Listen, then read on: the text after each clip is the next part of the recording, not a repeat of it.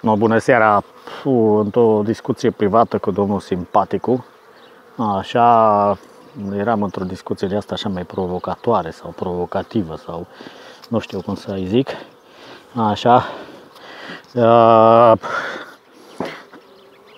am, am vrut să-i arăt aici despre ce vorbim.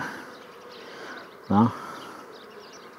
Nu, familiile mele sunt mai slăbuțe, ca de exemplu asta doar pe șapte rame, nu avem ce să discutăm. Sunt alții care au pe 10, alții care deja le au pe 20. Atâta știu familiile mele să fie domnul simpatic cu pe șapte rame. Uh, pentru satisfacția dumneavoastră, ca să știți că asta este o carpatină de gorj, da, așa, ca să vă lămuriți că este carpatină. Da, este carpatina, nu avem dubii. Ați văzut reacția ei. Da. Povesteam că uh, față de manifestarea în tipul anului, acum o de găsi mai agitată, mai nervoasă, lipsa de hrană. Nu vorbim de polen, vorbim de nectar. Uh, în trei zile o tras un kilogram de turtă. Deci, ce să zic. Uh, ba da, uite ce să zic, siropul.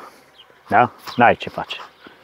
Dar nu, nu dăm pe, pentru a sătura-o, ci doar așa de a minți-o. Da. Astea suntem noi. Uh, e târziu, a sfințit soarele, nu mai pierdem vremea, soarele l-a sfințit. Așa că domnul simpaticu, v-am promis filmulețul. Uh, aceasta este o familie care când atinge apogeul maxim se va trage și reginuțe din ea și eventual trântori. Da? Cea de tată pe, pe subiectul Carpatina, cea de tată va fi aceasta. Da. Da. Și, și asta este. Mai avem una aici. Și astea sunt. Vă las, domnul simpaticu. Cu drag ne mai auzim. A, ah, pulverizatorul conține uleiuri esențiale. Da. V-am povestit că facem alternanță. Aseară N-am publicat filmulețele de azi noapte, de fapt, dar au primit doza de uleiuri esențiale.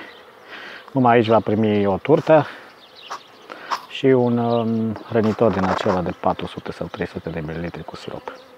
După care vom trece la o altă dimensiune de hrănire. V-am salutat, domnul simpaticu. Cu, cu prietenie vă salută Ionel de la Apisines.